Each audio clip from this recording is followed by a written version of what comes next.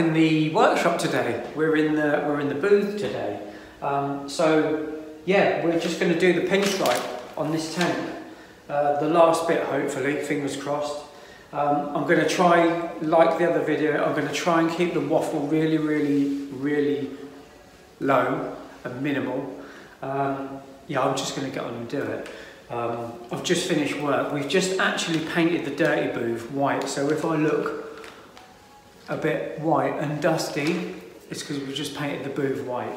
I think we're going to do this one next. Um, but yeah, so I'm going to I'm going to get on and line the tape.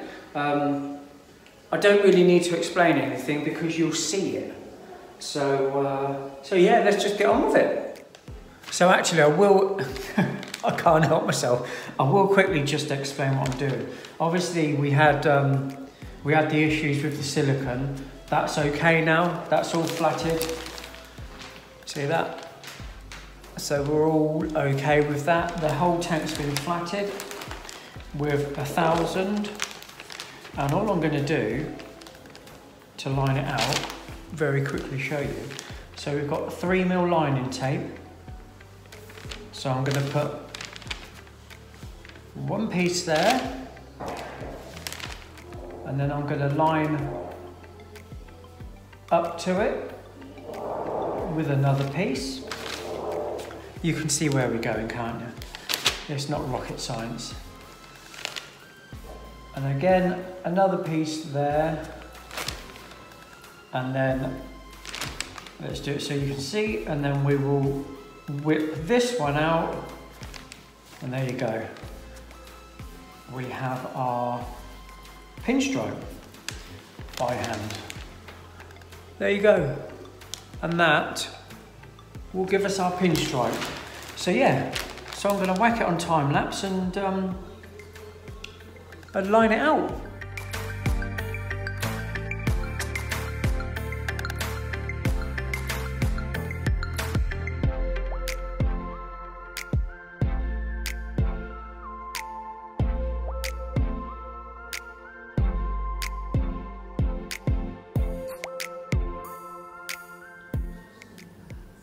Okay, so we've got our pinstripe, so to speak, lined out. And I'm just going to go around the uh,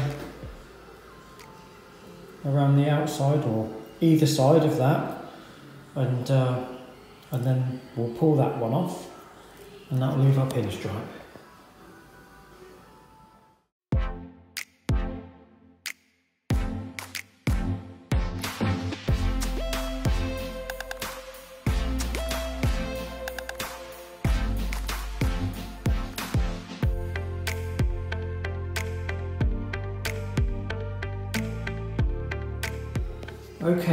Look, so we've lined the, um, well, yeah, we've lined it all out now. And hopefully, if I remove this one, that there is going to leave our pinstripe. Here we go. So that will be our pinstripe that we're going to keep.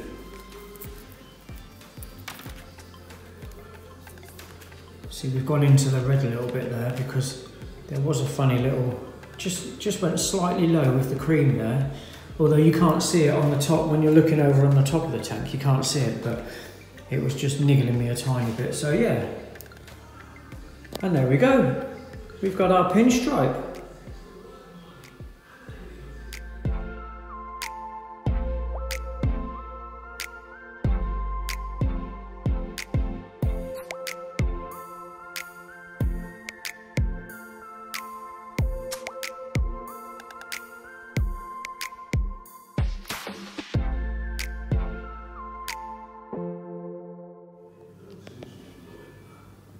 Radio, that is some mammoth masking task for this.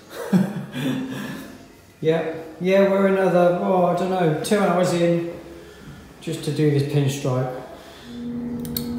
Okay, so I've got my mask on, so I'm a bit muffled, but I'm going to try and just uh, show you how we do this, kind of So I'm going to hold the phone and, uh, and we're just going to dust, dust the colour on really gently, drop the pressure in the gun. Uh, we've got the little uh, smart repair gun today.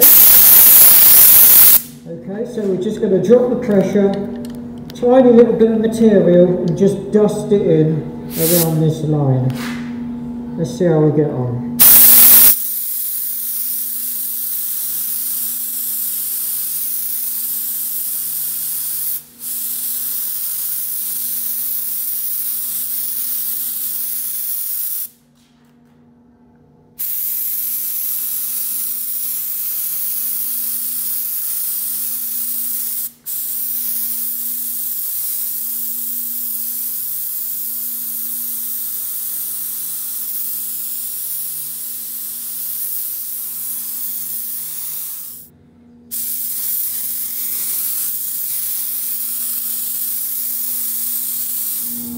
There we go, there's the gold on. Yep, of course it was going to be gold. It was always going to be gold. So yeah, oh dear, that's on. I'm going to demask it and then some clear and then I'm going to go home because I'm tired and hungry.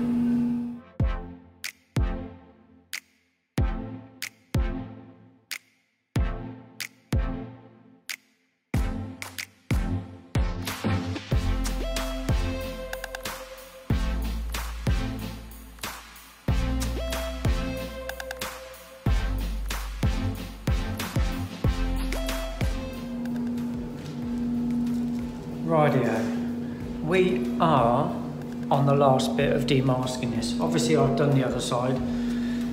and that was all okay. So I thought I would show you guys what I'm about to see. Hopefully it's all okay. It's always a little bit of a worry. We didn't want that to happen after I said that. Let's just nick that off there yeah, it's always a little bit of a worry. Demasking where you've, um, you know, either a pinstripe or a,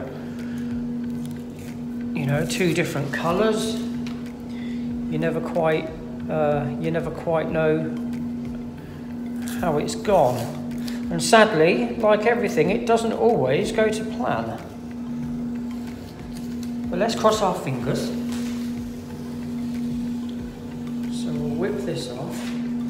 The gold looks nice, which is which is good. I'm happy with that because the um, the gold was uh, I had to match the gold to the stickers, um, and it was a bit of a job because you know we've only got a tiny area to sort of try and colour match. Let me do that from the other way. That's being a pain now. So what I don't want to do, the reason I stopped there a minute ago, was I don't want, there we go, I didn't want to pull the fine line tape off with the masking tape. It's, um, I prefer to do the fine line last if I can. Sometimes it doesn't, you know, it doesn't matter if you well, it doesn't, doesn't actually matter at all. It's just sometimes that's how I prefer to do it. Let's just nick that little bit off there. I hope you guys are still um, enjoying this process. Obviously, it's gone on quite a long time, uh, but it, it is quite a long process anyway. Right, wait, wait, here we go. Cross your fingers. Okay.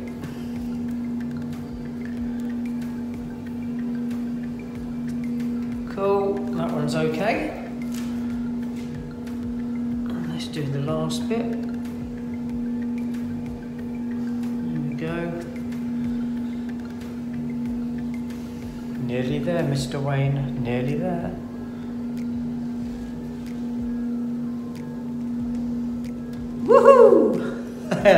That's it. We're done. Yep. Everything looks all right. We've got a little bit, tiny bit of build up around the edge, but you're always going to get that. You um, you can't uh, you can't do anything about that. If, I'm not sure if you guys can see this. I mean, I'm being really picky, but there's a slight build up there. But hopefully, hopefully when I tack it off with the tack rag, that'll um, hopefully that will go. We'll lose a bit of that. Like I say, there's nothing you can do with that. That's part of it. Um, but yeah, that's really good.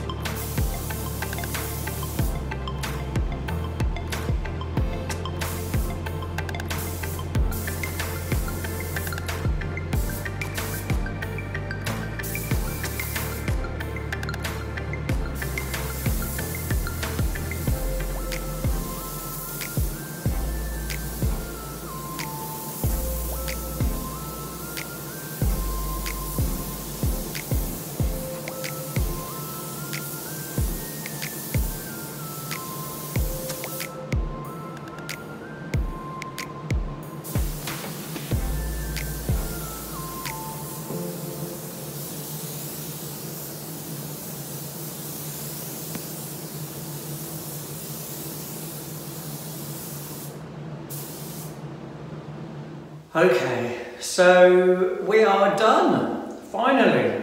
So we've got the clear on the pinstripe. And yeah, it all looks really, really nice. I was to say lovely. It looks lovely, really, really nice. Yeah, yeah, yeah. Yeah, no problems this time, thank God. Um, paint's gone on nicely, finish is really nice. Couple of little nuggets, one of them was there. I'm not going to get too close because we're still pretty soft with it. Uh, one was in the top, um, kind of around there. Not that you can see that from here. Uh, that was actually a tiny, tiny little hair had gone in it while I was, uh, while that were the, sorry, while the second coat was flashing off. And I saw it, um, but I just thought it's better to leave it in there. We'll just whack another coat of lacquer on it and just nib it out when it's, uh, you know, when it's dry. So um, yeah, yeah, excellent. Yeah, so this may well be the last uh, video on this because um, again, it's it's dragging out. I don't want you guys to have to sit for a part four. Um, but yeah, so I might give it a polish. Um, well, I will because there's a couple of little bits in it. Um, so we'll give it a polish and uh, and that will be done. But I will quickly whip around it with the with the camera so you can see. Because like I say, it might be the last might be the last bit. But um, if it is the last bit, I've got to say thank you so much for um, for for you know joining me and, and kind of watching the process. Now it's now. It's now four o'clock-ish. Uh, I finished, well I started this at one. So we are around 20 hours into this tank so far. Um, it's, you know, it, there's a lot of work in it, there's a lot of different processes. Um, but yeah, it looks really, really, really good and I'm dead happy. So, um, but yeah, getting sidetracked again. But thank you so much for, for all the support and uh, all the new subscribers. Uh, don't forget, I've got um, I've got a few videos on the BMW that I built, um, and obviously there's the Honda uh, Hornet, the Angry Hornet. Um, yeah, so th- there's loads of things you know that I'm going to carry on with. I may do a little um, uh, carbon fibre uh, video, just how to make a simple part using um, carbon fibre uh, uh, overlay method.